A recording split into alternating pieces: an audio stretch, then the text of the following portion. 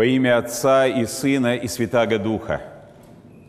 Мы только что прослушали отрывок из Евангелия от Матфея, где повествуется об искушениях Спасителя от дьявола на горе вблизи города Иерихона в завершении его сорокодневного поста. Этим постом Спаситель приуготовлял себя к общественному служению. Пост был очень суровый. Он 40 дней не вкушал пищи. И по своей человеческой природе, которая жила, как и ныне живет, по определенным законам, он почувствовал сильнейший приступ голода – Евангелист пишет об этом, он взалкал. И явился ему некто, о котором Евангелие говорит, что сам сатана. И предложил ему сделать из камней хлеб, если ты сын Божий, если ты претендуешь на то, чтобы идти после вот этого пребывания в пустыне к народу, и возвещать им от своего имени некие истины, сотвори чудо, сделай из камней хлеб. И Господь отвергает это искушение пищей и чудом. И говорит слова, ставшие нарицательными. «Не хлебом единым жив человек, но всяким словом, исходящим из уст Божиих. Второе искушение похоже на первое. Дьявол восхищает Спасителя и ставит его на крышу Иерусалимского храма и говорит, сбросься вниз, яви снова свое могущество – Господь отвергает и это искушение. И, наконец, последнее. Показывая Спасителю все царства мира, Он говорит, поклонись мне, и я дам тебе власть над всеми над ними. Уверенный в том, что Он такую власть над миром имеет. И Господь отрекается от этой власти – и говорит, что только одному Богу следует поклоняться. Это великие слова Евангелия. Потому что искушение пищей, материальными факторами, чудом и властью, они присутствуют не только в жизни великих людей, они присутствуют в жизни каждого человека – в каком-то смысле это искушение является главным искушением, с которым человек сталкивается, живя в этом мире. И, может быть, особенно в этих трех искушениях выпукло представлена идея чуда.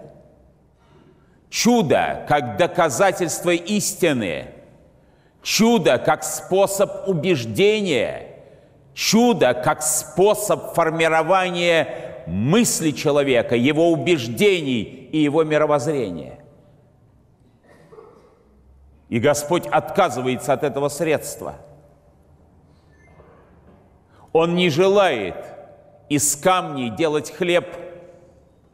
Он не желает своей божественной силой, бросившись в пропасть, сохранить свою жизнь он не желает чудесным образом от некой силы дьявольской получить власть над миром. Он отказывается от силы чуда. Каждый, наверное, кто читал Евангелие, скажет, подождите, но ведь больше всего в Евангелии говорится о чудесах Божьих, о чудесах, которые Спаситель являл людям. Он исцелял, кормил, он воскрешал из мертвых. Это ли не чудо? Господь совершал эти чудеса. Но Он не совершал их для того, чтобы поразить людей и детерминировать их свободный выбор. Он не совершал эти чудеса для того, чтобы превращать людей в рабов. Он не осуществлял эти чудеса чтобы, поражая воображение, действительно лишить человека любой возможности идти иным путем, если он захочет пойти этим путем. Господь совершал чудеса только движимый любовью к людям. Это не были фокусы, поражающие сознание. Это были добрые дела. И вот что удивительно, эти чудеса на какое-то мгновение, конечно, поражая тех, кто был свидетелем их, не производили того впечатления, которое они могли бы или должны были произвести на людей. И вплоть до самого ареста и допроса у первосвященника все время обращаются к Спасителю эти требования «Яви чудо!» докажи, что ты Сын Божий. И даже тогда, когда он стоит на этом допросе, лишенный всякой человеческой силой, требования чуда, и даже тогда, когда он на кресте, сойди со креста, и тогда уверуем, как будто мало было воскрешения четверодневного Лазаря – как будто мало было исцеления прокаженных, слепых, глухих, бесноватых. Все забыто. Никакого впечатления те чудеса на людей не произвели. Им нужно было новое чудо и доказательство, которое, конечно, ничего бы не доказало вновь. Мы сегодня празднуем память замечательной святой мученицы Татьяны. Наверное, может быть, и она просила Господа о чуде, когда ее молодую девушку, девочку, схватили и жестоко терзали, ведь ей больно было, смертельно больно. То были нешуточные истязания, то взрослые люди издевались над ребенком – терзая его плоть и вырывая согласие на то, чтобы предать свою веру.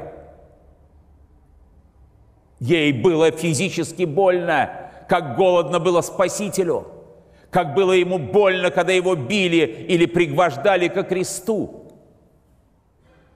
И, наверное, кто-то из наблюдавших говорил, но где же справедливость? Не в такого Бога я точно не верю как он допускает, чтобы во имя его терзали этого ребенка, почему он не пошлет сейчас легион ангелов, чтобы разметать этих легионеров или тех, кто руками своими прикасался к святому телу младенца и рвал его буквально на части. Не было послано легионов ангелов, как и там в Гефсиманском саду, как и там на допросе у первосвященника и у Пилата, как там на страшной Голгофе. Ничего не изменилось с тех пор. И до сих пор для того, чтобы поверить в Бога, люди требуют чуда. Свершаются чудеса каждый день. Не верим, не те чудеса. Сомневаемся, совершаются они или не совершаются. Сотни тысяч людей стоят в очереди, чтобы прикоснуться к святыне, потому что реально получают помощь и потом свидетельствуют об этой помощи. Не верим, не то чудо-то. Если бы даже сегодня как сказал Господь ученикам своим, если даже мертвый воскреснет, не поверят. Потому чудо, которое, несомненно, является действием, не столько отменяющим физические законы, сколько по воле Божией приостанавливающие эти законы и таким образом влияющим на течение естественных жизненных процессов, будь то приостановление болезни или даже возвращение к жизни умершего – все это в руках Божьих не является силой, которую Бог использует для обращения к вере людей. Он дает нам чудо по своей любви к нам. Он отвечает чудом на нашу молитву. А разве не чудо, что мы сейчас все собраны здесь, в 21 веке – в нескольких метрах от Кремля, на площадке Российского университета. Люди, объединенные одной верой, которую принесли наши предки, которые запечатлели кровью своей наши мученики. Разве это не Божье чудо? Какое еще чудо нужно? И ведь веру храним мы не потому, что кто-то вообразил, на, поразил наше воображение. Мы веру храним не потому, что мы обладаем некой особой сверхъестественной силой. Мы обычные люди. Мы веру храним именно потому, что наш внутренний опыт свидетельствует о действенности, о реальности веры. Мы сталкиваемся в жизни с присутствием Божиим в своей собственной жизни, в большом и малом, в ответе на нашу молитву, в радостном биении сердца посреди разочарования и пессимизма. Мы верим в Бога и становимся сильнее и чувствуем эту силу, которая, подобно мощному ветру, надувает нас, наш жизненный парус – и двигает вперед.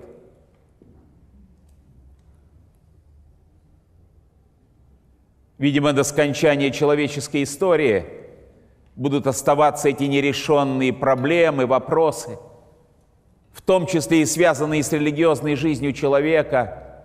До скончания века будут те, кто будет верить и кто будет не верить, требуя чуда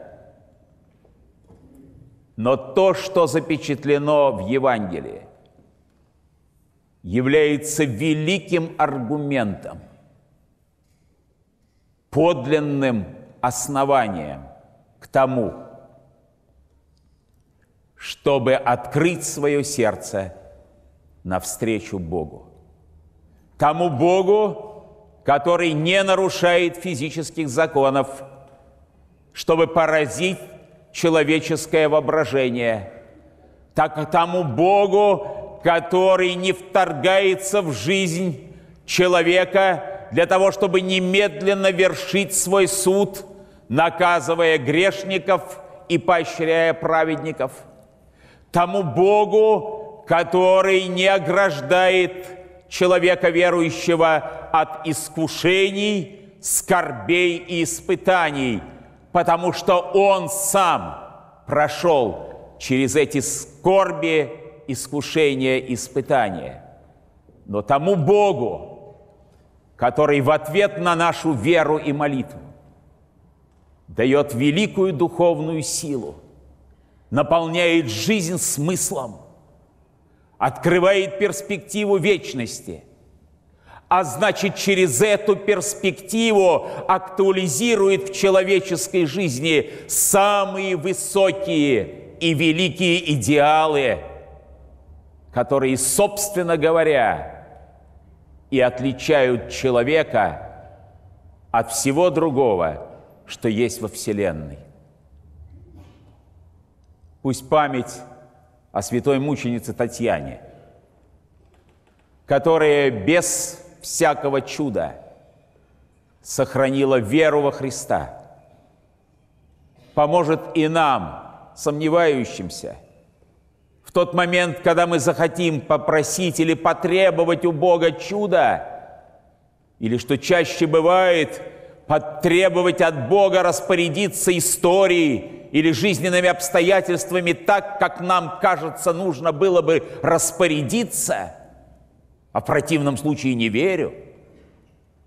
Вот пусть в этот самый момент нас посетит воспоминание и о испытаниях в пустыне Спасителя, и о замечательном жизненном подвиге святой мученицы Татьяны, ставшей как бы по случаю, но, несомненно, по воле Божией, покровительницей российского студенчества.